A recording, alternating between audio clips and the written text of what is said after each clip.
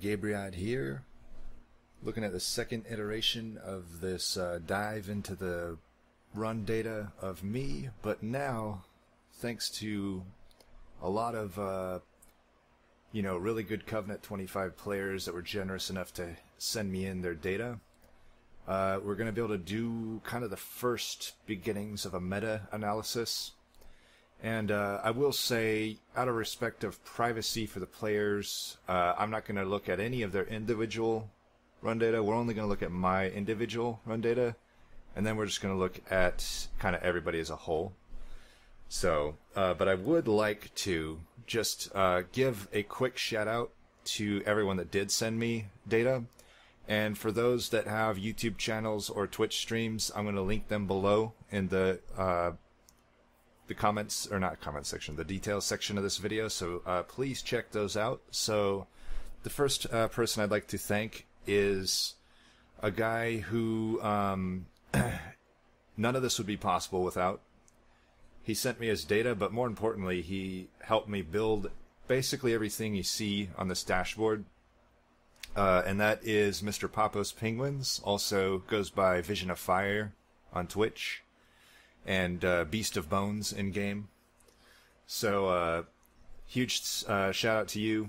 Uh, thanks so much for everything you've done here. Uh, like I said, I it's the data isn't uh, super straightforward, and he did so much to help me actually make this happen. Um, both technically and just from an idea, or, or just like an idea standpoint as well. So huge shout out there. Also, Peanut Jack. Uh, he is the winner of the most recent uh, Open um, Never Nathaniel tournament. So huge thanks to Peanut Jack. Sent us in some pretty good data. Uh, Gentle Giant. He is pretty active on the Steam forums. I haven't seen him too much outside of that, so I didn't uh, know if he streamed or anything like that. Uh, so if you do, Gentle Giant, if you see this, go ahead and send me your link and I can update the description. But um, just a good guy, sent in a lot of good data. Uh, Night Angel, also his YouTube channel is named Let's Play Analysis. That'll be linked below. Um, also a tournament player, plays pretty high in the tournaments. Really unique play style, very insightful, really good guy, sent in a lot of data.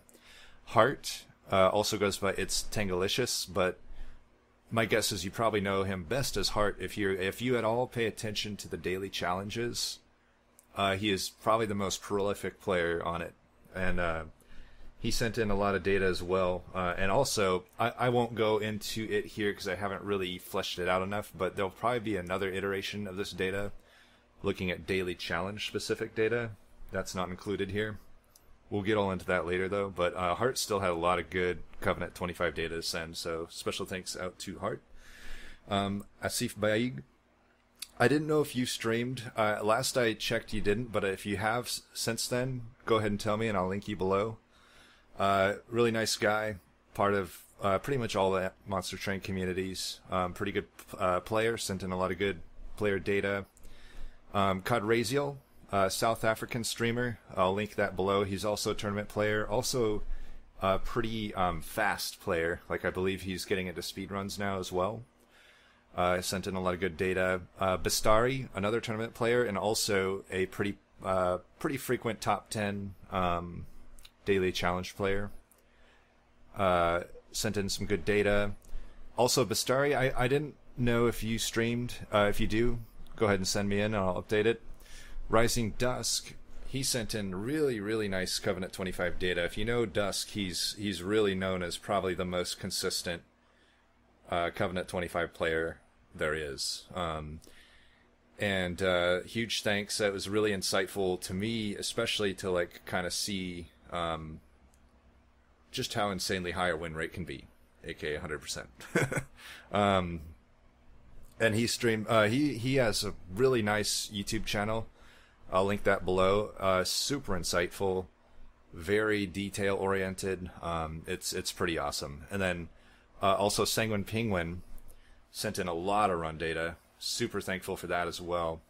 Um, he streams very regularly, super insightful, engages with the audience. Highly recommend him out. Tournament player as well, tournament winner as well. Um, yeah, and that I believe is everybody. if I missed anybody, uh, shout at me angrily, and I'll I'll I'll, get you in there. Um, but that's going to be, you know, the uh, so uh, if you if you know, you've probably watched tournaments, you probably know a lot of those names. That's a pretty good selection of players here. So we're getting some pretty some pretty high tier um, looks into what's happening, right?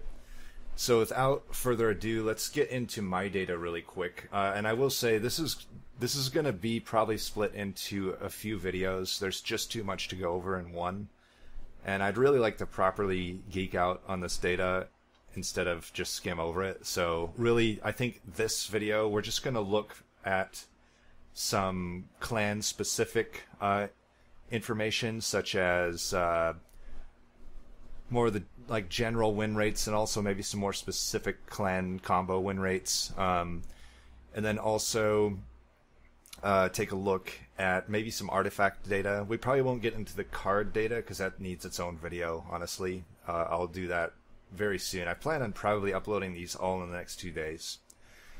Um, but yeah, let's just let's just get into it here. We'll see how far we get in this video, and then I'll find a good stopping point. So first thing, uh, let's just go over my data really quick to show what's changed. Now, I will say, just from a uh, if you watched the first video I've done on this, there was there's a few errors I've corrected since then. I wasn't properly filtering out uh, mutator assist, uh, or runs that had mutators, uh, and that was negatively affecting my my win rate. So just naturally fixing that already pushed it up. But also you'll see as I scroll down here, I've just been I've been using the insight gained here to really try to up my game, and I, I, believe I've done that in the last month, and we'll we'll see we'll see that kind of shown in the data as well. Uh, and also, I gotta apologize. You know, every player that sent me data, I would send them a report back. The first few players that sent it in had uh, you, you'll have had lower win rates than you actually had because I hadn't fixed that mutator bug. So, to the few of you that that actually applies to, you, feel free to just let me know if you want an updated um, report, and I can do that. Uh, but anyway, you know, uh, looking at this, um, this is just win rate by primary clan, and I'm looking just from March 25th on, just only DLC data. That's all I'm really interested in. Uh, and I will say, like I said, I'm not going to look at any other players' individual data here out of respect for privacy, but I will say, um, this is not that uncommon to see patterns like this in every player. Uh, but the clan is always different. I actually looked through and it was it was pretty amazing in that every single player or every single clan had a representation of a player that had them as their best clan and also as their worst clan. So, for instance, there were people, you know, it, I, it's always kind of commonly said that Melting Remnant is the best clan and that maybe Umbra's the worst. Uh, as I hear that, I hear that a lot. Um, there were plenty where there, there was players. There's more than one player where Melting Remnant was their worst clan, and there was uh, one player where Umbra was their best clan. But I'm not going to say who it was, of course. Um, but that's and every iteration was that was the same. Like there was a player that had Wurmkin as their best, Stygian as their best. Me, I got the Hellhorn as the best. You can see here. I'm I'm definitely a Hellhorn type guy, shall we say? But it's also interesting, you know. Um, and I will say we'll look into it down below my Stygian Guard win rate is a bit affected by the fact that I did hammer out a lot of Tethys Dregs trying to figure that combo out. And as a result, it really just lowered my Stygian win rate. I think I still would say Tethys is my worst in the DLC, but this is probably a bit lower than it needs to be.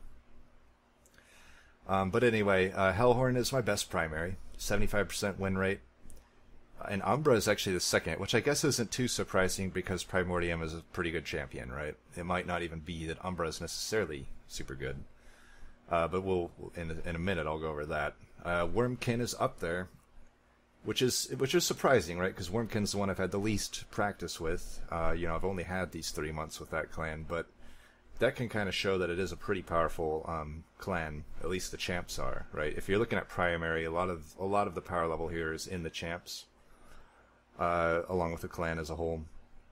Uh, Melting Remnant is actually just barely fourth here, um, right there with Awoken, which is interesting, right? You know, we typically think that uh, Melting Remnant is the best, and for a lot it is, but for me it's not. Um, a lot of that has to do that I'm I'm still learning the Dregs variant. I'm getting better, but uh, there was a while I was I was losing a lot with Dregs variant, shall we say. And Awoken, I've always felt pretty middle of the road on this. Um, obviously, some other players don't, though. There were several players where Awoken was their best clan. Um, but uh, yeah, mine really all of them are about in the mix here, with Hellhorn having a clear advantage and Stygian having a clear disadvantage. Now, as far as secondary goes, I get even better with Hellhorn as a secondary, which might allude that I've I slightly overrate the champs here, but it's hard to say. 75% win rate still really high, 80. It's like a, when you're trying to compare that, it's kind of apples to oranges. Um, so super good with Hellhorn. Awoken secondary pretty good. And uh, spoiler alert, you'd think root seeds, right? With me, it's not. Restore is like my secondary that's crushing it. I can't explain that. That's just how it is. I don't know. There's no real reason that should be the case, but that's how it has been. Um, Umbra, still up there. So, like I said, I, I was like, okay, this makes sense. Primordium's really good, but maybe Umbra still sucks, right? Well, not really.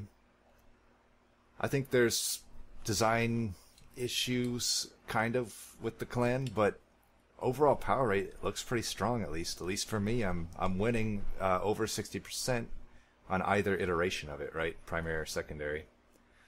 Um, and melting remnant secondary is actually my lowest, and I will say that's because of dregs. We'll have evidence of that below, but that's that's pretty wild, right? Because melting remnant, there's a lot of strong cards in that in that class, right? But as I said, that's also because I ran several runs of Tethys Dregs, and and I didn't win too many of them. Let's put it that way. But yeah, so on and so forth. You know, clear advantage of Hellhorn and Awoken for me on the secondaries, and then everything else is pretty similar. Um, kind of around that 50 to 55 to 60 percent win rate uh, range. And now uh, I've added a blended clan um, win rate what I'm doing here is I'm basically saying I don't care if it's primary or secondary. Just what if I if I merge the clans and say like, hey, if the clan was in, if Hellhorn was involved, and I got a win, it's a win. If Hellhorn was involved and I got a loss, it's a loss. What do my win rates look like then? Um, then it kind of then it, you kind of see the blending of these. Uh, Hellhorn's still way out ahead at seventy seven percent. Um, Awoken, uh, pretty far up there still. And then it kind of, you know, Umbra's ironically my third best clan. As much as I've complained about Umbra, I'm actually maybe I shouldn't complain about them that much, right? Um, anyway, uh, Wurmkin up there, Melting Remnant starting to fall off, and then Stygian just kind of suffering mainly because of Tethys. And then we can see that a bit more here. I did the blended, but I split out exiled and non-exiled here. So crazy how close Awoken is, actually. Like, you'd think there'd be a big difference, right? Because Restore just doesn't seem as good as uh, as Root Seeds, but for me, they're like all pretty much, they are identical, actually. That's pretty crazy, because I've played a lot of runs, and for them to be identical is pretty, pretty crazy. But anyway, Hellhorn Exiled is my best. No surprise there. I'm surprised when I see so many people bash Queen's Impling as a basic that's wild to me. To me, that's one of the best basics in the game. Uh, but then still, Torch variant, Hellhorn, still pretty high, right? Uh, 75% versus 80%. And uh, now here we see the gigantic gap, right? Like, Exiled Melting, that I get the win rate I might expect to see of Melting, 72%. But drag variant, I'm under 50%, 48%, right? 48.9%. Um, so clearly I got to shore up my game with dregs. And I've been doing that. I do think I've been getting better, but it's going to take a while to close that gap, right? It's a lot of data to to have to overcome now. I've kind of dug my hole deep. But uh, very interesting, and I will say not every player is like this. So a lot of these, it's interesting, right? What I think of when I get the meta analysis is I, I, can I can get a certain amount of insights, but I can also see certain areas where it's like I'll see things like this where clearly I am doing dregs wrong. But I'll see other things too where it's like clearly when we when we start uh, looking at everybody's data as a whole, you'll notice like exiled Hellhorn struggles a bit. Um, particularly as like a secondary and uh, I just and just certain banner units and stuff. Uh, like I said, we're not getting into the card ones in this video, but I, I just see you can see evidence where I'm clearly doing something wrong, but you can also see evidence where I'm doing something right and everybody else is doing something wrong. So it's like the way I generally look at a lot of this stuff is I don't look at the low end too much as much as the high end. Like when I see something does well, then I know it's good. Like with when you get all these good players together and certain cards just always do good, you know that card's good. But if a card does bad, that doesn't necessarily mean it's bad. Um, that is, or even a clan, right? Uh, if a clan does bad, that doesn't necessarily mean it's bad. Like Tethys Dregs might not even be that bad, right? I, I even though I've lost so many times with it, I'm not willing to go and say Tethys just straight up is bad because there are players. I checked, uh, and Tethys is their strongest champ. So, you know, it, it's interesting. Like you can only you have to take the context a lot of times with a lot of this data. But you see that here as well. Like um, they, there's a gigantic gap. So just to reiterate, there is a what is that? 40 72 minus 48 it's like a 20 what is that 26% or something difference that's that's pretty wild um, but similarly with Stygian uh, exiled and Stygian non-exiled gigantic gap, like 25%. It's pretty wild. Um, but that's just me. Like I have to shore things up, right? And another, actually, another good example is I, I tend to do pretty good with Solgard and also Stygian Exile, whereas a lot of other players uh, didn't. Which to me, I'm like, well, I know from my experience that it's good, even though the data wouldn't show that if I'm only looking at their data, right? So, again, I just tend to look at the good and take the bad with the finest grades. Uh, the, the, the the low win rates I take with the the the, fi- the finest grain of salts. It that more I just look at it. I look at that as like I need to shore up my game in those areas, and that's the main way I've been trying to use this. I think that's the only way it can get better, right? And then Umbra to Umbra Exiled. Interesting. There's a, there's a somewhat of a significant gap, eight percent. It's not nothing, right? You might be able to explain a lot of that with Primordium, but we'll get into that in a bit here. And then Wurmkin, probably one of the few where Exile doesn't win, right? Um, and that, makes sense. I do. I, I, particularly just prefer Spine Chief, and I particularly prefer Fracture. So both secondary and primary, I prefer the non-exiled Wurmkin variants. But they're both really good. It's it's kind of apples and oranges, to be honest. Um, there's only a five percent difference. But yeah, for most of these, exiled typically beats out the non-exiled. and then here's kind of uh, uh, bucketed by month, just kind of my win rate over time. And you can see maybe the scale here doesn't uh, make it that clear, but uh, I've definitely gotten better in July. Like I had some, I was all over the place kind of those first three months. Started to get a little bit more tight June, but particularly July. Like I have a hundred percent win rate primary Hellhorned and everything else, the lowest is Stygian at 66. So clearly, I'm getting better, right? Like my Stygian primary above overall was like under 50, right? So I'm trending in the right direction. I've used I've used uh, a lot of data here to try to to try to reevaluate cards and and, and just strategies in general.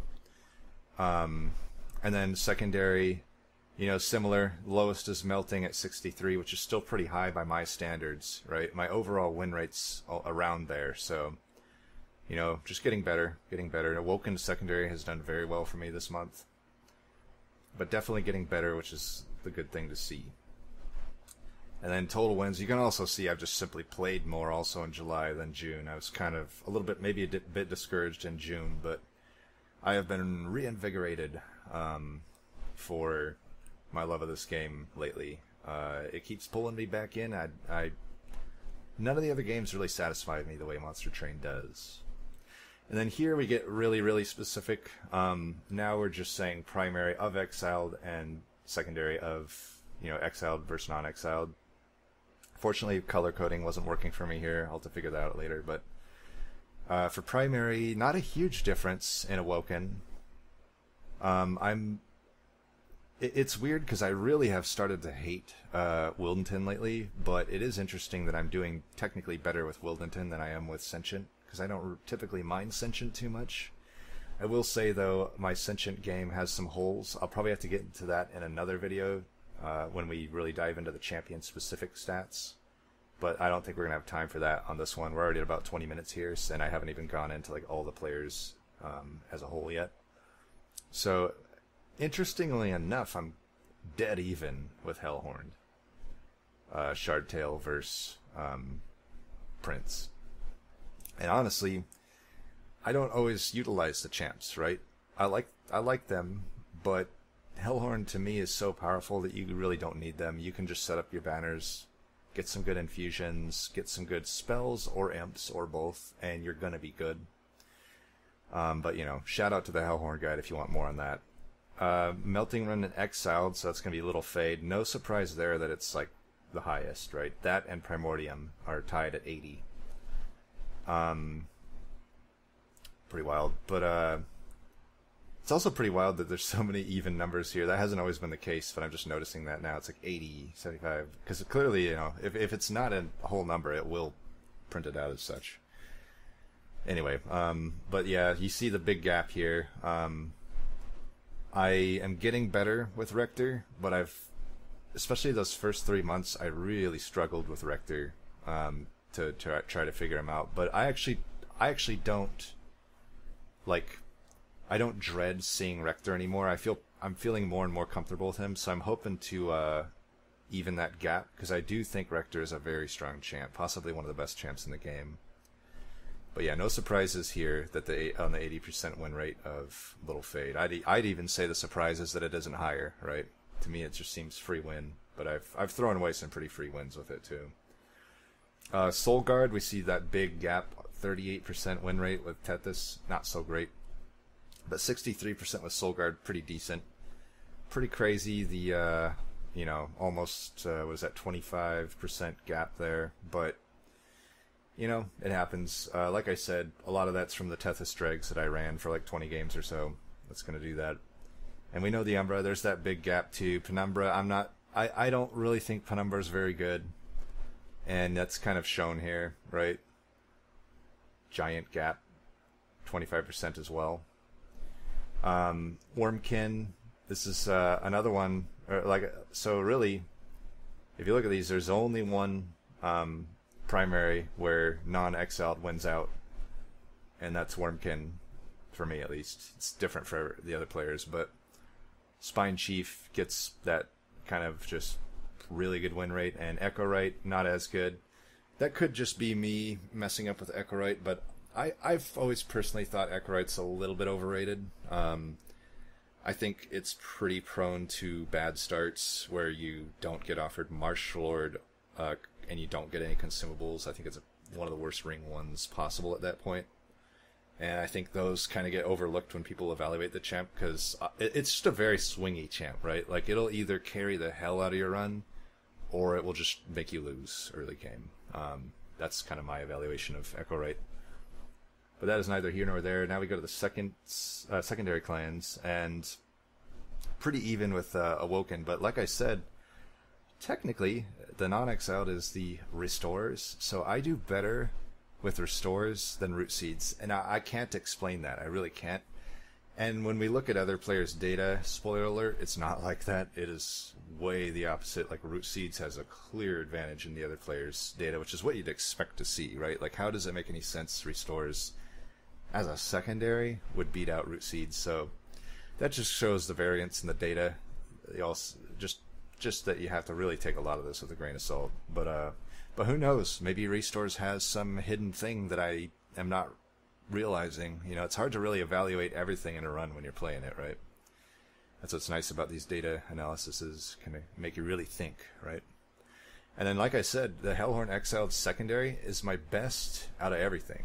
Like even these, it's better than Little Fade primary, eighty-four percent with um, Queen's Impling. So, you, and and this you don't see with the other players really as uh, as well. Like like I don't even know that tor- they, it outperforms Torch in their data, But to me, I'm like, I don't know. The, these things are just amazing. They do a ton of damage early game.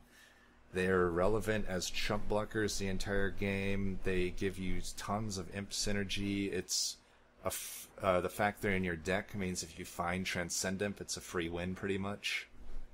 There's just a lot going on for Queen's Implings, but I will, as par- probably another follow up video, I'm gonna really dive into like both the champs and the basics and give kind of my thoughts on like a data based and bias, like data and just bias mixed together to make a tier list. Uh, hopefully that made sense. But yeah, Torch is still pretty high at 76%. Um, just not nearly as good as Queen's Impling for me. And then here we see a gigantic gap again. No surprise to me here. Uh, melting remnant, pri- the primitive mold just seems like such a good basic to me. To me, it's actually the best basic, even better than Queen's Implings. Um, it enables the entirety of the melting kit right from the get go. The problem with dregs is you don't always get reform, and then it becomes a bit awkward, right? It's like, okay, do I take this draft? I know draft infusion is great. I know drafts itself can be great, but if I have no reform, um, how am I going to make a burnout one unit stick, even if I have burnout extension, right? Uh, I can I can work with dark calling, but again, what if I don't have reform or dark calling? That's not that unlikely of a scenario. Almost, uh, it seems like most of my games actually end up that way. But uh, yeah, but like I said, there are players that still do very well with dregs secondary. Um, so I don't necessarily look at this as like dregs are horrible. It's just they're horrible with me, right? And then gigantic gap here this one I think really, um, you know, I think Foregone Power might be the most underrated basic other than Queen Impling. I never see this get much love, and it's pretty wild to me that it doesn't. Yeah, it's frustrating. It is a frustrating card, but the you can't deny the fact that it costs zero. You can't deny the fact that it does tons of damage, especially like early game. It can pretty much kill the bosses, or at least take them down to half health entirely on its own even a fracture can't hardly do that, right?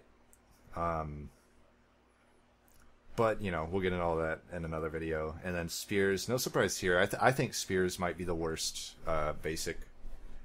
I I didn't think so pre DLC because I always really liked them, particularly with Conduit um, Tethys. But now that Conduit Tethys, is, I mean, Conduit Tethys is still good, but I don't find it as free of a win as it was before. Uh, well, it doesn't matter because secondary. We're talking about secondary spears. I, I, there's just not really any strength that I can see in this, having these spears as your secondary. They're horrible. They do six damage. Um, they cost an ember. They don't discard anything. They just don't provide you anything. Right? They're horrible. They don't kill a backliner. They can't sacrifice your own units. They can't generate a morsel. They just they're so bad. Um, and then Umbra exiled to non-exiled. Um, no huge surprise here. It's one of the few where the exiled does not, uh, the exiled uh, basic does not perform as well as the non-exiled basic. But there's no surprise here, right? Plinks are not that great. Dare I say they're underrated, though? I do think they're underrated, but let's be honest, they're not that great. And uh, it's much better to just generate a morsel, right? You, especially considering if you do get Umbra Banner units, they're completely morsel reliant. And you really, especially in the DLC, plinks are not going to be a reliable way for you to generate morsels. So if you happen to low roll and not get additional morsel generation early, and you have to rely on, say, an alloy that has to fuel to attack, you can be pretty screwed with the uh, plinks. And then uh, Wurmkin's pretty even here. I don't even think it's really worth saying one's better than the other. I like both of them for what it's worth. You know, the exiled one is just a better torch, um, and the non-exiled one is just pretty versatile. It it has the disadvantage that if you play it on the floor with your that your people are at, you won't prevent the damage. But that's really the only downside. It's it actually is better than uh, Echo Break in all other forms. It just does more damage. It um, applies debuffs. You can use it on like your own units a little bit more for a little bit more um, synergies, I think. Uh, but yeah, that's pretty much it there. And this is probably not that interesting. I think now what I'm going to do is let's just go over everything we went over and look at it from the perspective of the uh, of every player as a whole. So I'm just going to change this to um, everybody, and let's take a look just how the primaries shape out. Uh, so, you know, I'll sort it by win rate here. Melting Remnant is the best, um, and then Umbra is second. Isn't that crazy? Wurmkin, newest clan, coming in at third, then Awoken, then Hellhorn, then Stygian Guard. Now, I will say, um, this makes it look a little bit uneven, right? But there's two problems right now that I would say I would change. One is that my data is in there, and to be honest, I have played so much of this game um, that I have, you know, I have almost as much as every other player combined. Says something about my life, but anyway, um, so I'm going to remove me from this. And then also there is one player here that, uh, at least on one account, was really just only playing melting and I think it kind of skews the results as well. So I'm not going to say uh, again out of uh, respect for the players. I'm not going to say who it is. I just made a little macro here to hide the skewer. Now what we get is a bit more, a bit more, um, a bit more even of a spread for primaries, right? So Melting Remnant still number one, but not like vastly in number one. Umbra right behind and then it starts to fall off kind of. Um, i mean wurmkin's right there at 45 awoken stygian. I was bringing stygian down by the way. Um, and then hellhorn ironically at the very bottom. And if you remember me i was by far my best was hellhorn. So that just shows like you could look at this one way. You could say uh, say my data was never there. You might start to think oh is hellhorn just the worst primary clan in the game uh, you could say that, but again, this is why I always say when you look at data like this, I only really look at the top. What I know from this is that melting is pretty good and Umbra is probably pretty good. I don't necessarily say Hellhorn is bad, right? Plus, I have the knowledge from my own data that Hellhorn should be pretty good, right? So that's just to reiterate kind of the differences, and it also kind of goes into showing that, like, like I said, every player has vastly different uh, stuff that they're good at really what I think this comes down to is like it, this game is way deeper than I think a lot of people give it credit for. And you can't really be good and know you can't be good with everything unless you play an absolute shitload. And you also it's hard to know all the strategies. I'm still finding out strategies, right? Like just recently in the last week have I started using endless eggs, right? Before that I thought it was crap, but now I'm like, damn, it's one of the potentially best strategies in the game. So you know, you'll never know every strategy really. Um, I aspire to, I aspire to, but realistically, every player has the things they're good at and they have the things they're bad at. Um, so it's always interesting. The more and more data I get, I think the more and more we can start to trust some of the trends. But right now, I have to take everything with a, a grain of salt, right? So that's the primaries. Let's do the same exercise for secondaries. So um, I'll just go ahead and uh, jump right to um, eliminating me and then uh, eliminating the skewed results. And what we get there as secondaries is actually even more of an even spread, I would say. Interestingly enough, we got Awoken as the best secondary and that is not out too outrageous, right? Um, that's always even before the DLC dropped. That's kind of been the notion, right? Awoken is like the prime secondary clan that you can have, right? For me, it's different, of course. Um, Hellhorn is mine just because I I've come to I feel like I know the ins and outs of Hellhorn so much now. And honestly, it helped when I made that guide uh, I was already doing pretty good with Hellhorn before it, but even just making those guides sometimes helps me as a player uh, because it really reinforces me to actually write down a strategy and put it on paper, right? Other than just have it floating around in my head. And uh, but anyway, uh, you know, Awoken Hellhorn goes way up. Remember in the last um, when we did the same look at primary, it was the worst at under forty percent. But now it's right there, almost number one at forty eight percent. So that and that's really interesting to me. That that shows to me that they're they're either using the champs maybe incorrectly, the Hellhorn champs. Um, really, that is, I guess, what it shows me. Uh, because, yeah, maybe the champs aren't that great for Hellhorn. I think they're great, but uh, I don't know.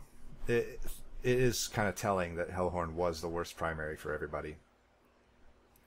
Um, and Guard is up in the mix. Very interestingly, um, well, we'll we'll get into that later. But yeah, third for Stygian, then Umbra's at fourth. No huge surprise there. Plinks Plinks are in the mix there, and even Shade Splitters as a secondary. It's like, eh, they're they're okay. Wurmkin, I was a bit surprised to see. I think people are still ironing out uh, ironing out Wurmkin, but then the Melting Remnant was the biggest surprise to me. I was like, well, yeah, the Melting Champs are pretty busted, but Melting as a clan seems really good. At least primitive molds, right? Not really the case uh, with all the players' data. Um, and we'll get into the specifics here because this is keep in mind this is not taking to, into account exiled or non-exiled. It's blending those together. So we'll look at that data next. But I'd like to get really quick just the blended. Um, oh, that's not what I clicked. Uh, just really quick, I'd like to look at the blended uh, data because in here we start to uh, we start to see something that's really interesting to me. Um, that's all I got to do, right? So this is blended. Um, you know, just uh, let's go to the visualization. Um, it's all pretty even, right? Which is pretty wild. That and to this, to this, I really got to give credits uh, to the dev team. Um, in a game where there's six clans and so many different combos between them, there's exiled, non-exiled variants. There's all the champs that also have exiled and non-exiled variants. All these different plethora of strategies. When you look at the clans from a just holistic perspective, the win rate it's only what five four percent um, difference between top to bottom. That's not too bad, right? Four four percent. That's a pretty amazing. Uh, that just shows that how well just the just everything has been designed about these clans. True individual um, champs probably are pretty imbalanced. We'll get into that later, but just as a whole, everything kind of evens out, which is pretty amazing to see. So Awoken does have the highest blended rate at 47%.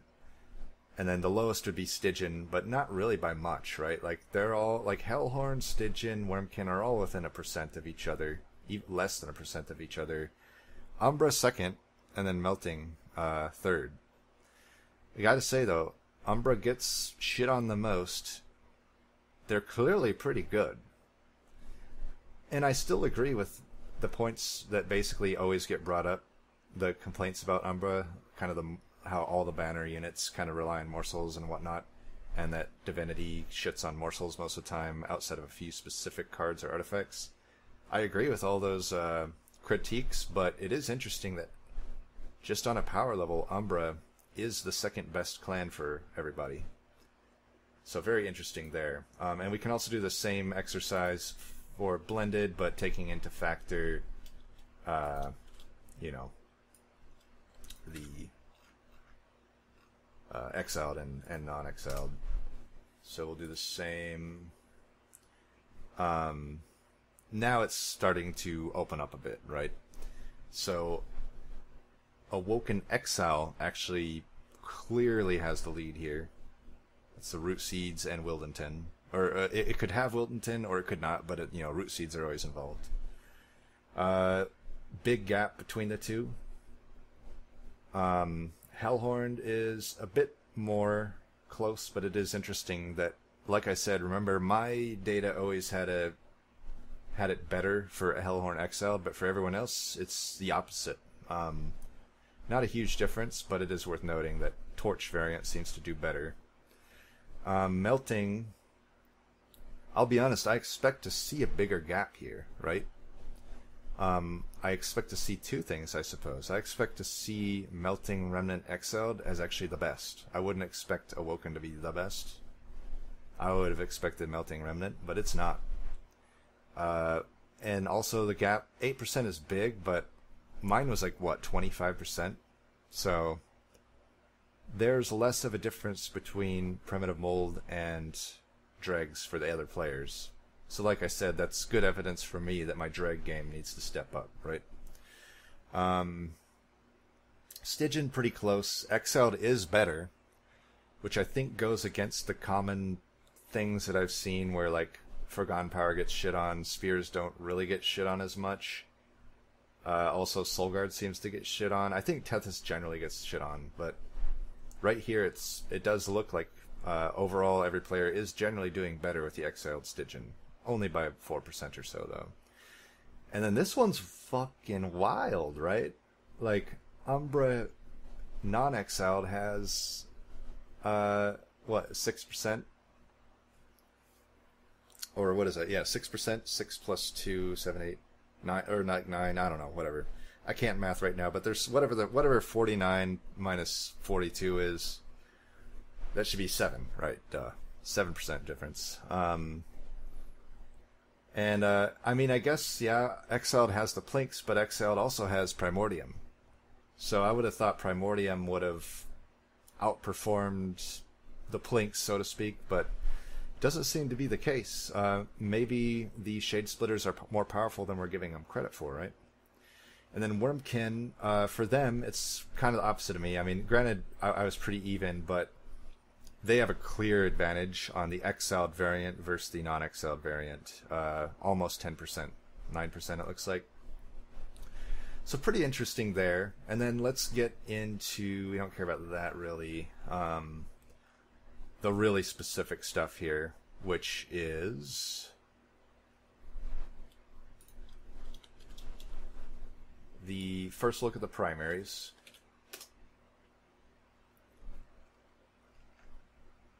So let's sort it by win rate. So Melting Remnant Exiled gets the nod. Um, not so really surprises there. We've always known Firelight is busted. There's like no bad path for it. There's no not great path for it, right? It's just busted. So that also Primordium is in second. Um, also no surprises. Primordium is pretty crazy. And then here we get Echowright. So this starts, you know, like I said, I did say I found uh, Echowright to be slightly overrated. But uh, maybe that's just wrong. Uh, every other player is doing pretty well with um, Echowright compared to the other clan, uh, the other champs, right? Because really, what we're looking at here is obviously some combo of the champ and the clans and the clan's power as a whole. But when you see like big gaps, um, like for instance, for them, the Spine Chief variant, you know, when you look at Wurmkin Primary Exiled versus Wurmkin Primary Non-Exiled, the main difference there, the only two differences are going to be Echo Break versus Fractured, and then Champ versus Champ. Uh, and really, you know, I would think Champ versus Champ is the big difference here because I don't see a huge difference between Fractured and Echo Breaks. Uh, and this is one where, to me, it I know from my own data when we looked at it that there's no way Spine Chief is bad, right? To me, this just tells me people are not using Spine Chief correctly. Uh, there really is no reason it should be the second worst.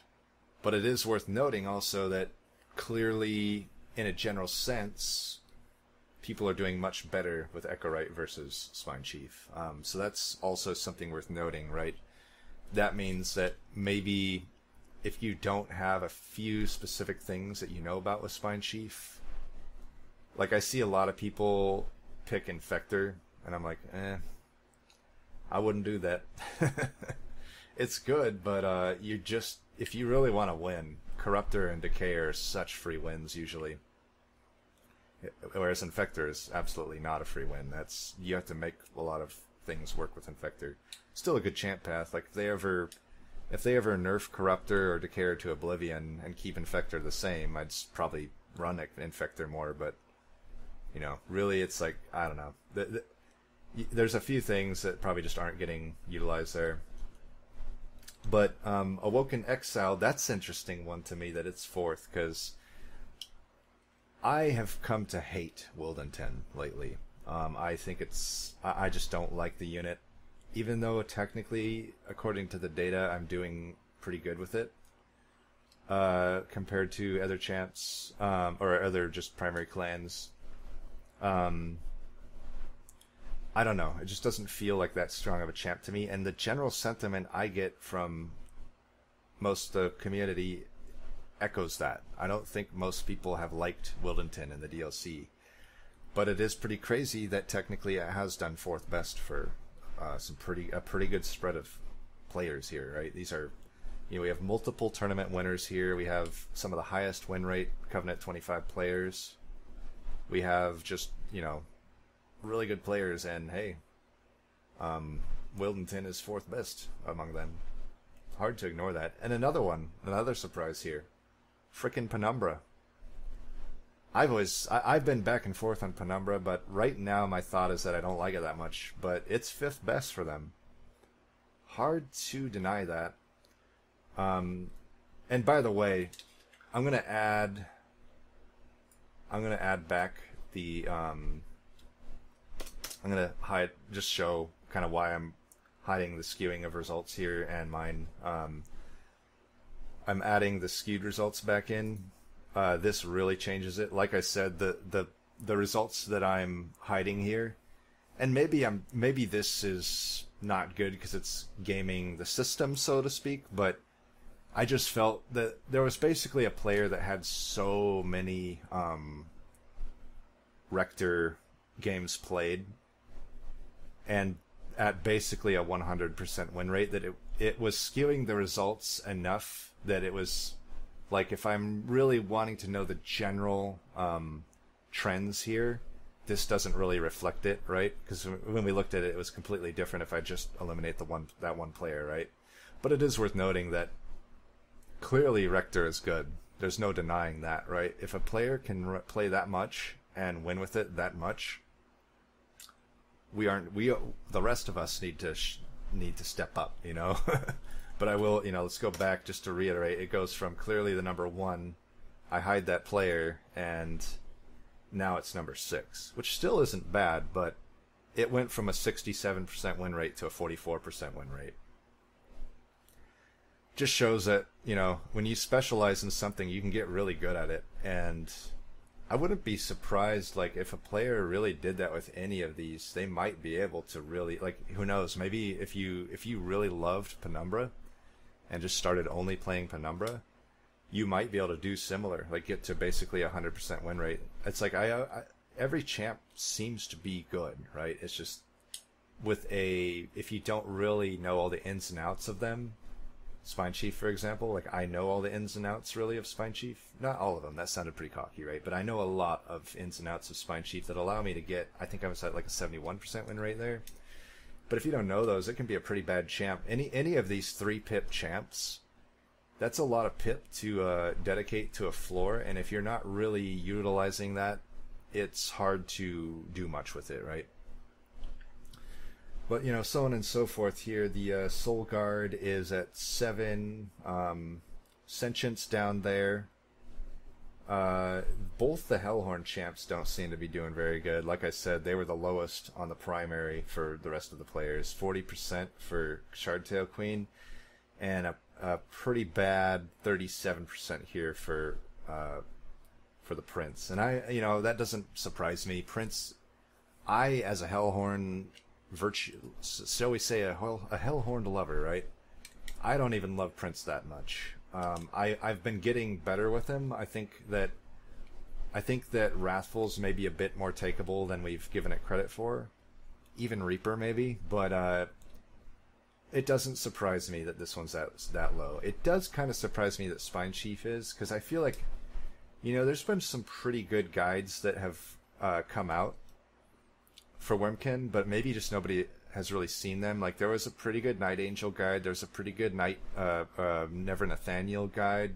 There's a really good Rising Dusk guide. You should check check all those out. They'll if you're having Wurmkin um, problems, go ahead and check them out. And uh, I, I, I myself plan on doing a Wurmkin guide pretty soon too. Like maybe as soon as next week, I might kick off the first part of it.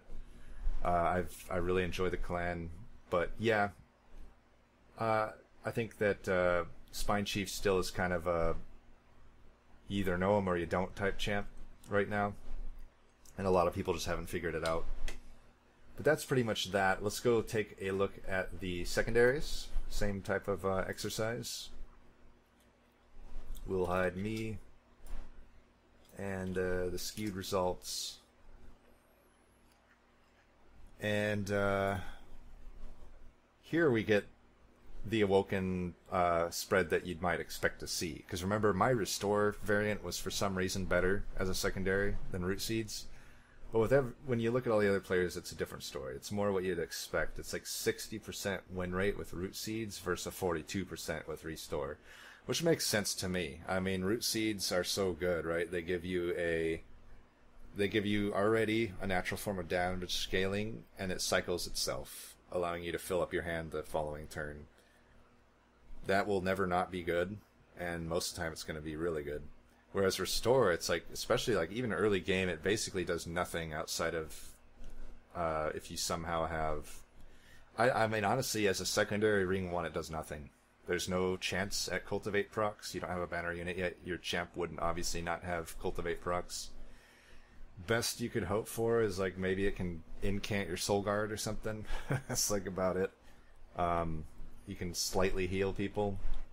It's a very bad ring one card, and it doesn't seem amazing to me, like at all the other rings. It obviously can be pretty good with cultivate, but yeah, I can't explain why my restores do so much better than root seeds. But that is how it is. But this is more what we expect. And then uh, Umbra Shade Splitter. Here we go. Right, like I said, I think we've been not giving Shade Splitters the love that they probably deserve. You look at all these other players. It is the second best uh, secondary. And you, compared to Plinks, which is the number the number one worst, right? Weird way to phrase it, but it's the number one worst. So morsels, and that's the only difference, right? The only difference when you're looking at, at a clan secondary is the basics. So that's really just comparing Shade Splitter to uh, Plink. Pretty big difference, twenty percent difference. over a lot, you know, 10 or so players, um, significant run data. Um, and here we see Foregone Power. Like I said, I think it's highly underrated. This is Foregone Power, the zero cost discard apply frostbite card, third best, 50%. Spears secondary, 41%. Big difference, right? This is what I expect to see. I think Spears suck. I think Foregone Power is good. Hellhorn secondary, we see actually pretty good here, both of them. And actually, they, like I said, they Torch does have an advantage for them, but it's not huge. Two percent is pretty kind of whatever. Uh, but you know, hard. You know, uh, Torch kind of always it, it has a lot of mixed feelings, but I think people generally do like it, and I agree with that. I think it's pretty good. I don't think it's great, but it's good. Whereas I think the Queen's Implings are great. I, I don't think I know any other player that thinks that. Um, maybe maybe I can convince people now that we're starting to look at the data and whatnot. But I would say at least if they like torches, um, and they hate Queen's Implings, maybe reevaluate it because it seems here, based on most players' data, is that there's not that big of a difference between them, right? But anyway, um, Echo Break does seem to have a pretty big. Well, not really not big. It's just one percent, pretty negligible. When you get to here, it's pretty negligible between them all. This one I didn't expect to see though. Um, Primitive Mold Secondary as one of the lower win rates is not at all what I would expected to see. To me, Yeah, it can be a weird ring one sometimes, but like I said, in general, it just kind of opens up all of the Melting Remnant game plan right from the start. You know, just having all those reforms. I've always thought it's like I I thought it would be the most powerful secondary. Even in my own data, that's not reflected though. It is one of the more powerful ones. Like, um, it isn't the most powerful.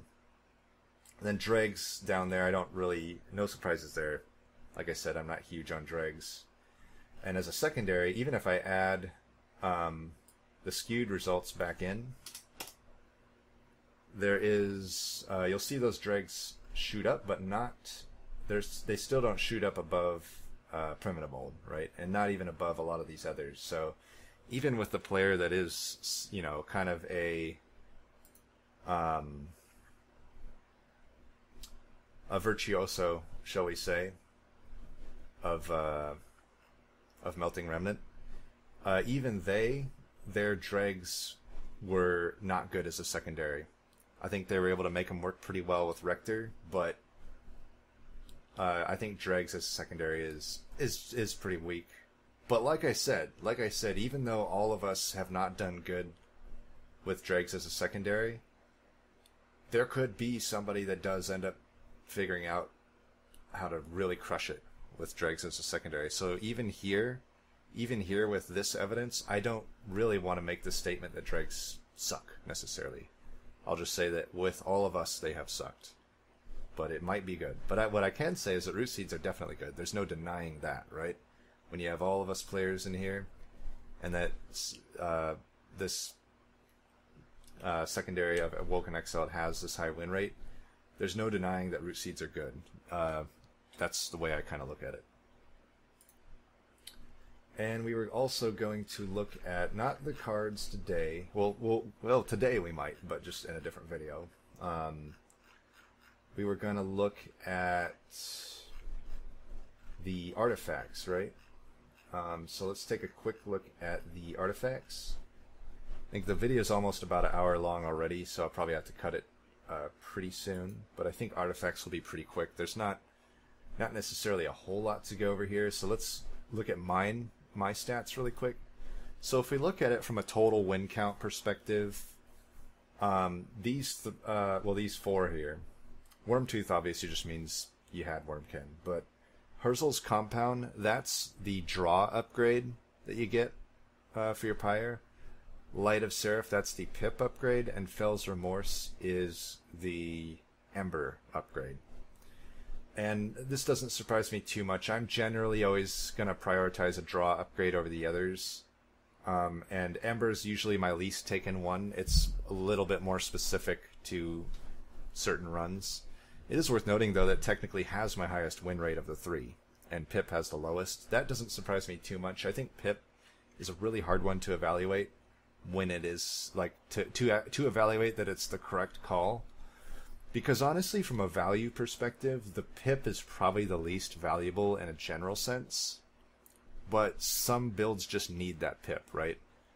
I would never take the Pip one if I was trying to evaluate the value between them, the pip really should just be taken when that is what's going to like drive your deck over the edge, or alternatively, if it, that's the only way your game plan is going to work, is if you have that extra pip. But in general, draw will never be bad. Ember could be bad. It, it's pretty pointless to take an Ember upgrade if you have no big reason to have it. But if you do have reason to have it, similar to Pip, that's just going to enable your game plan, right? Uh, and then uh, this is not, by the way, we'll, we'll look at every player as well, but uh, that is not that um, different from the other players. They, they basically choose them at the same rates, roughly. And then we get into the sort of normal artifacts here, right? Hell's Banners is the number one. No surprise there. It's like pretty damn rare that I see a Hell's Banners and I don't take it. I gotta get, I gotta have a pretty big reason to take a different artifact. This artifact just does it, it, it, at the very least what it what it'll do is essentially give you what an improved firebox does minus just a few ember. But you know you're always guaranteed to get your at least one banner unit in your champ turn one. So at the very least turn one you're getting three extra ember, which is already good enough if that was all it did, right? If they if if they nerfed improved firebox to just only give you three ember, it'd still be an okay artifact, and that's the the lowest thing you'll get from Hell's Banners. And then the highest thing you'll get is three ember every damn turn, which is not that un, unlikely, uh, depending on your deck. Three ember every turn, pretty busted. Not only is it three ember every turn, it's three ember every turn that, you know, say your ember drained a bunch, you still can make that ember happen as long as you have zero cost units you can put down.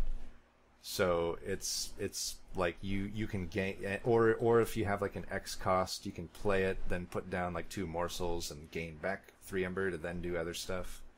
It's so versatile in what it can do.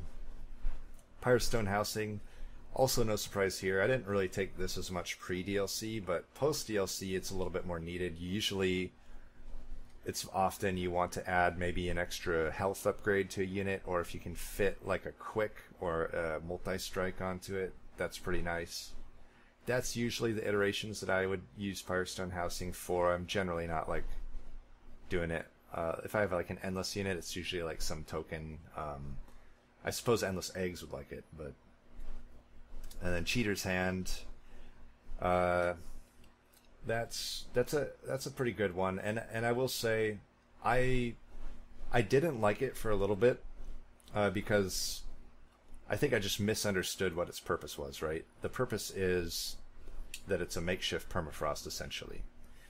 Um, it's not a it's not a card that actually helps your draw, even though it reads that way, right? But if you think about it, it does no it does not help you dig through your deck quicker uh, it does not help you increase your hand size, and that's the two things you're looking from for card draw, right? So it's not, it doesn't help you with that, right? What it does is it allows you to selectively take a card and hold it till the next turn. That's the big advantage of Cheater's Hand. Once you realize that, it becomes a pretty damn good artifact. Um, and then so on and so forth. Split Anvil, you know, Kroska. These are all good things. I don't know if I have the the need to really dive into every artifact here. You know, you can kind of, I'll just scroll through them, and if you're interested, you can pause the video. Um, I'll go through all of them here. And this is just page one. We'll go to the next page. Um, just going to scroll through them.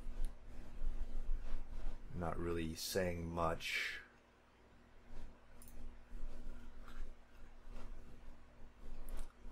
Penitent remains there. And then yeah, and then if I go back, we'll really quick just sort by the win rates. Not too worried about these ones where the sample size is super small. Like I don't think comparative to Spike, I almost never take it. So the only times I did take it, obviously it was like gonna be good. Um, I'm surprised Impsicle only has 12 for me, but it is pretty interesting that it's 12 and 0. Pretty insane. Definitely shows that that's probably a pretty good artifact. Um, Shard of Divinity, that's not much to say there. I'm I go a lot of I, you, if you know me, I like to take a lot of shards, and I end up with Shard of Divinity and blank pages quite often as a result. Usually, the Shard of Divinity is irrelevant, so that you can look at this and be like 25 and one. Oh my god, it's so good. But honestly, most of the time, I don't even get hit on my pyre. So there's been a few runs where it saved me, but for the most part, it's pretty irrelevant. Ashes of the Fallen, on the other hand, that's a damn good artifact. If you know me, you know I love imps, and this just makes those imp builds go into overdrive, and it's pretty damn hard to lose an imp run with Ashes of the Fallen. 25 and 2, pretty hard to deny the power of that. Abandoned Stave, I probably need to take this more often. I've been getting fancy and trying to take the calcified embers or just skip the event, and I don't. Uh, it's probably not correct, but yeah, hard to deny 12 and 1 there, even though 12 and 1 isn't a huge sample size. You know, you're you're adding two blights to get two ember. That's a pretty good trade-off. Um, and uh, Dante's cloak that just means you you survived the candles and now you have Dante. No surprise that at that point you're winning most. I only lost one, and it was is a bullcrap game that I lost anyway. I'm, I'm still salty about that one. Um, Gurg's Goad, I mean, no surprise there. You don't, I guess I don't end up taking it so much because often by the time I see it, it's too late. It's like, uh, maybe it just gives me multi strike on a steelworker or something. you obviously only want to take it if a relevant demon can get the effect. But if you if it is, that's free multi strike, and obviously that's busted, right? Cursed Vines might have my um, vote for most underrated artifact right now.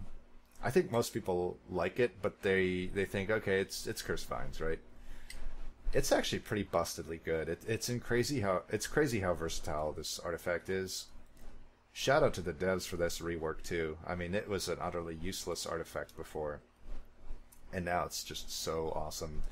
It's a counter to Diligent. It's a um, easy way to trigger an incant. It's an easy way to rearrange your units or their units. Early game, it can kill units. Uh, even late game, it can like break the spell shield or something or the damage shield. Just so versatile what this can do, but really just the rearranging of units. Also, the sacrifice the the sacrificing of your own units is also really good with it. You know, imps, tombs, anything like that. It's just so versatile what it can do. Um, and even if it doesn't do a whole lot the moment you take it, often it will t- do stuff by the end of the run. Just the fact that you have it now opens up some options to you, right? You know, you can take a sketches and shuffle your units around and stuff like that now.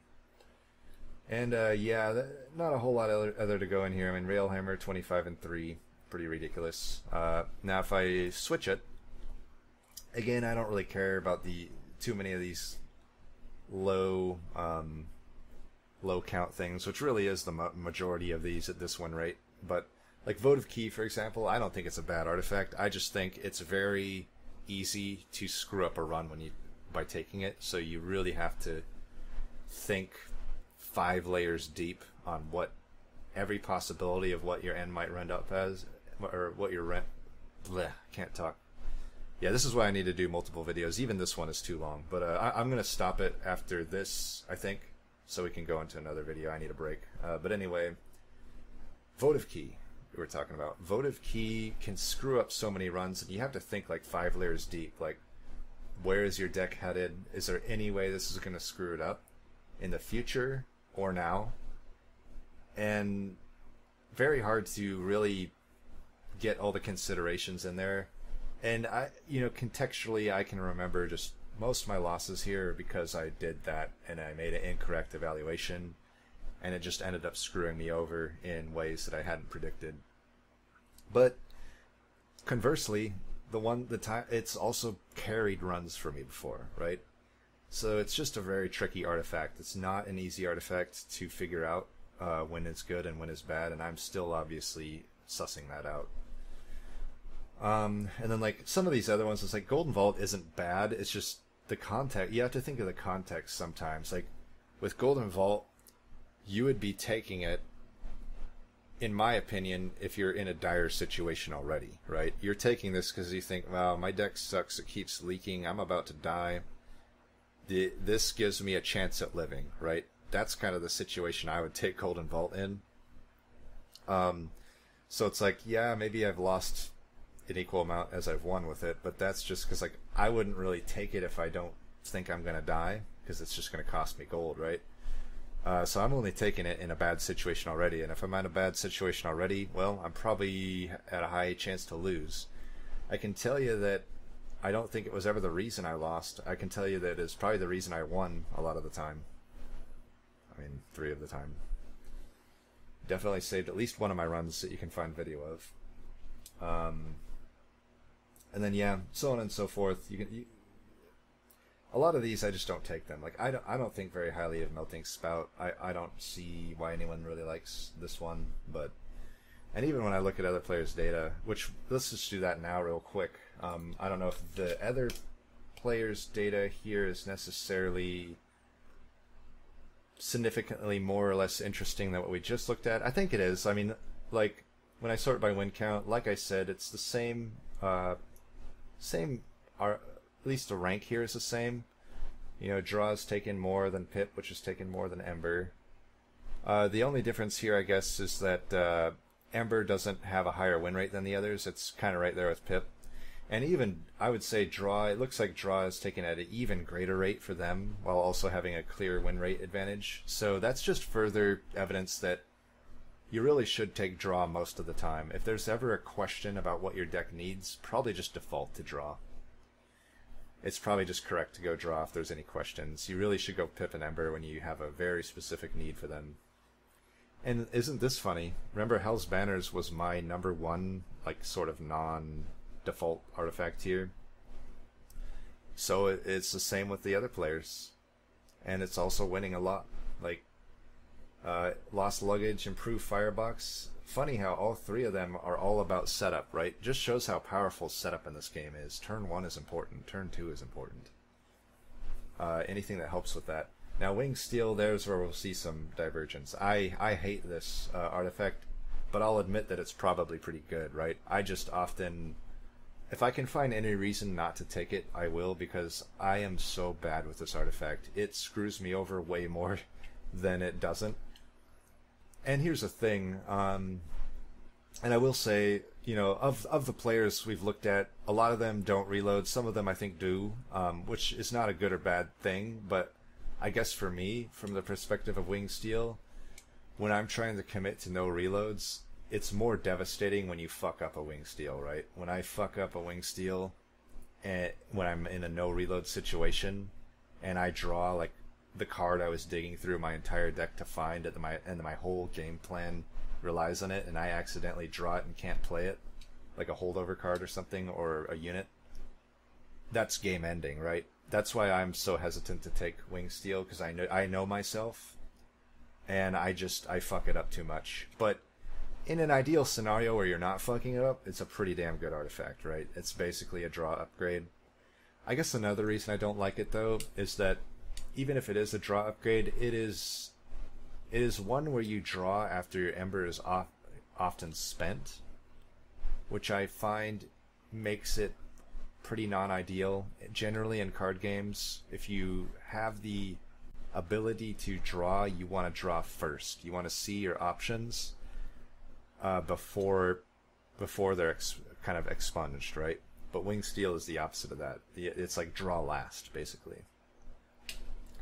But all that being said, Wing Steel is pretty good. Um, I just hate it. Forever Flame, similar. It's like it's kind of setup related, but it's even beyond setup related. It can do things like make all your imps free, including Transcendent. Pretty damn good artifact. Pyrostone Housing, that was also a top one for me. It's a top one for them. It's just become pretty good. Faulty Loader, it would be higher for me, except there was like the first two months I didn't think much of the artifact, so I didn't. I was always skipping it. But I'm pretty on board with Faulty Loader now. As I as we've said, setup is so important and faulty loader also helps with that setup. You know, you're not taking damage from the first wave. You're not taking any pyre damage. You can even just focus on. Uh, well, well, you'll take pyre damage if they survive, but they're probably you know you don't have to scale as hard and quickly to kill them. It's just a pretty good artifact. It also stops like scourge shufflers from shuffling scourges at first wave, yeah, all the way on up too. Split Anvil, no surprise there. So many high cost spells that now just are a benefit to you. Vapor Funnel, that's one I don't find myself taking too much, but uh, hard to deny that it's bad, right? Because it's doing pretty good for people. So on and so forth. I'll, I'll do the same um, here, where I kind of scroll through, and you can, if you're interested, um, you know, pause and just check out any of this that might be of interest to you page two here. Just kind of going through here. Just to reiterate, this is the players that are not me. This is everybody else. See probably some different. You'll see similarities. You'll see differences. And I like looking at the differences because usually that clues me in that I've been missing out on something, right? Like let's say I had never taken faulty loader and I see them taking it a bunch. Right there, I'm like, okay, well, this is clearly a good artifact. There's no denying that, right? that's just kind of an an objective truth, shall we say, is that it is a good artifact. So if I had tried to say, "Oh, this artifact sucks," like I can't say I can't say I can't in good faith say Wing Steel sucks. I can say I hate it, which is true, but no way to, no way is does it suck, right? So that's what you can kind of glean from these. And then real quick, we'll also do the win rate. Cracked helmet.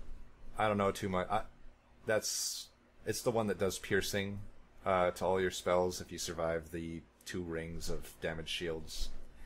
I don't know. I, I've never really done it, so I can't say. But clearly, seven and zero. Oh, clearly, it's pretty good when it's good. But I, I guess my argument there would be like if you had a deck that was so good it could survive two uh, entire two of the worst rings. Typically, it's typically rings four and five that you're surviving. Two of them of damage shield to every damn unit. I mean, it doesn't surprise me, even if you didn't take the cracked helmet, that you'd have a 100% win rate in that situation. That's kind of my argument there. Similar like the Divinity and Blank Pages, it's like if you if you made it that far in high shards, your deck's probably pretty good. Um, and also high shards just doesn't affect the Divinity fight that much. So it's like you've basically powered up your deck at no real downside for the final fight. Um, Queen's Tale is an interesting one. 40 and 9. Hard to deny the power level of that. Mask of Penumbra, that's the one that. Uh, so Queen's Tale is the one where you, you, put an imp down, it draws an imp, gives you an ember. Pretty good, right? Basically like a draw and an ember upgrade. Mask of Penumbra, basically a draw upgrade, and you can usually draw first with it, unlike Wing Steel, where you just put down a, a morsel and then you draw a card. Resonant Shard, it's basically like a poor man's deranged brute which is still pretty damn good. It's just a, an additional damage per rage stack. Hard to deny 46 and 12 across a wide spread of players, right? Resin block, and this is probably you know I'm not I'm not hiding the skewed um, the the guy who really likes to run uh, Rector. Doesn't surprise me that something like resin block is pretty good there. Like if I if I if I hide that, that'll be a little bit different here. Um,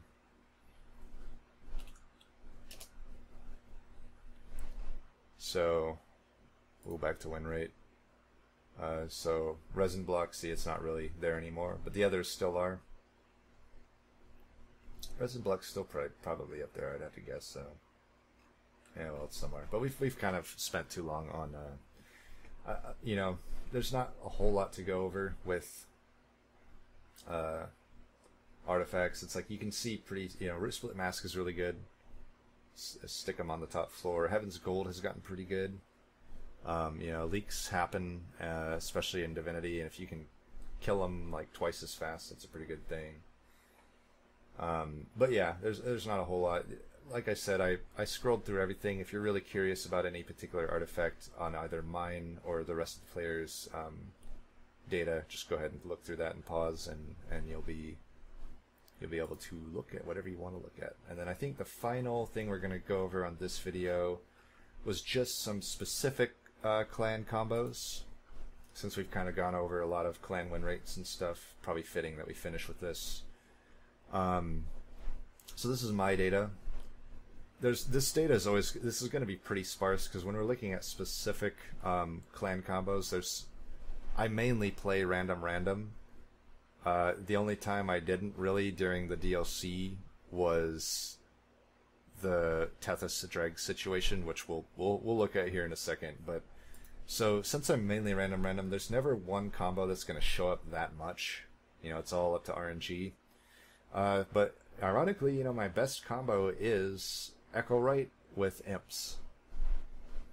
I can't really say anything specific about that combo why it's so good. All I can tell you is that I'm eight and zero with it for whatever reason, and I'm you know I have a few of these where I'm it's like awoken with uh, sentient and Wurmkin echo breaks, six and zero.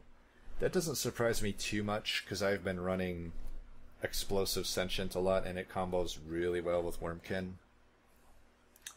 Um, you know, Queen's Imp with, uh, or sorry, Shardtail Queen with uh, Primitive Molds. That's obviously, you know, uh, Viable is pretty big on that combo. I am too. I've always, you know, he, he would say that it's the strongest combo in the game, and I would not disagree with him. So 5 0 there. It might easily be the best one. I just have only gotten it five times versus like the eight times a lot of these other ones have, uh, has, have happened and then kind of so on and so forth. It's hard to really suss out much here because the data is so sparse, but here we see, you know, let's sort by losses, and then you see why, you know, Tethys I do think is still my worst champ right now in the DLC, but the data is probably a bit lower than it should be. because of this. I ran so it's eight, uh, you know, fifteen losses versus three wins, pretty abysmal. Um, I think it's just a really tough combo, and I spent a lot of time trying to figure it out, and I, I'll be honest, I never really did. Obviously, right? Three and fifteen, I never figured it out. Uh, I'd like to revisit it though. I think I've gotten better with both the Dregs variant of melting and Tethys. Um, I'll revisit it at some point. I would like to redeem myself on that and try to get that win rate back. Uh, but then the rest of this is going to be random, random. It is interesting that like uh, I did so poor with Rector and Echowright. There's really no reason for that other than I probably just I had pretty bad Rector stats the first three months since the DLC, I think. But last month or so, I've, i think I've done pretty good with Rector. I think I've won most of my games with him. So I expect that to turn around. And like I said, there's no reason that uh, it should be bad with Wurmkin. To call out a, you know, I, the the guy that runs Rector a lot, he specifically also ran Wurmkin as a secondary for a lot of them and had a hundred percent win rate. So clearly, it is a good combo. I just I just messed it up for whatever reason, and we'll see that here. I'll I'll not hide skewer, and we'll just look at the other players' results first, uh, with them all combined. So if I go to wins, you know, right there. Um, and this, by the way, is not just his um, data. So those losses, all of them are not from him. Like his were 100%. But, you know, he, he definitely skews that win rate up. Uh, a lot of these, most of these, uh, you know, Rector ones right here at the one and two slot are going to be him. If I change that,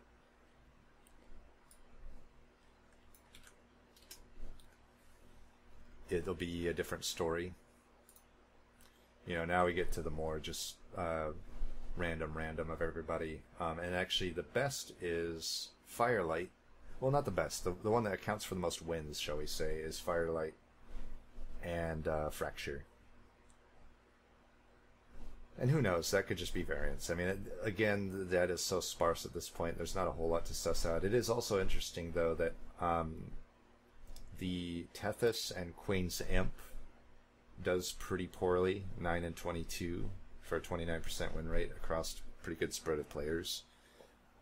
That's very similar to the Dregs combo, right? It has the same problems. It's like well, Tethys needs spells to be good, but when the basics are units of the other clan, that really fucks that plan up.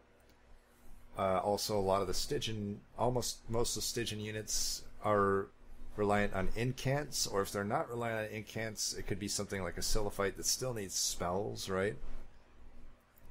Although I guess it doesn't hurt Siliphyte that much, but mainly like incants. With incants, it just hurts it. It hurts Ancient Synergy as well, for what that's worth it makes it significantly less powerful. Um, but you know, for the record, I in my data I didn't do too bad with Tethys and Queens, but that's really because I'm so good with Hellhorn, right? I didn't. I just basically ignore Stygian in that type of scenario, and I use my Hellhorn knowledge to carry those runs. Um, but it is worth noting that it's interesting that they kind of see the same problem that I've seen. It's just instead of dregs, it's uh, Queen's Imps. Um, now, real quick, let's take a look at what maybe some of their highest win rate ones are. So the the the hundred percent win rate one is only one combo, which is Solgard with Plink or uh, Shade Splitters. Who knows? It's only three sample size. We know that it's probably good, but we can't say for any reason that it's like some significantly busted combo, right? Like this one almost even looks better. It's like because then you have a little bit bigger of a sample size at seven and one, six and one, six and one. So that's uh, Rector with uh, torches. I could see that being good, especially for like harvest. You could torch like your um, tombs or dregs or whatnot and get some extra harvests. Umbra with melting. That doesn't surprise me either. That's like the Reformdium. That's Primordium with primitive molds. You can do the prim, uh, the reform DM setup, which is just so powerful. Um, Echowright with Shade Splitters. again, I don't know if there's anything specifically about that combo that's busted. It's just it's just whatever. But yeah, I think that's maybe a good stopping point here. We're almost at an hour and a half, so that's pretty long for this video. Um, I think next what I want to dive into is champ specific analysis, and I'll even kind of throw in what uh, I kind of consider my personal tier list of champs. I think that could be pretty fun. I always have fun with those type of videos. I like watching other people doing them, so it'll be fun for me to like do one myself. Um, but yeah, that'll do it for this one. Hopefully, this uh, provides some insight. Uh, after we do the champ one, I think we're going to look at cards, and then that's probably that'll probably be everything. Um, and then I'll just look at any other additional data I have. Let me know if this is uh, insightful or interesting, uh, and if there's anything that by the end of this, I would say you know there, there's at least two more videos coming out. Wait till the the three are done, but if by the end of this there's stuff left over that you are interested in that wasn't there, please let me know and I will look into if that's like data that I could pull or not. Um, it's possible that it could be. Like uh, there's uh, there's always still things that I haven't necessarily looked at that we could look at. But that'll do it for this one. As always, thanks for watching and peace.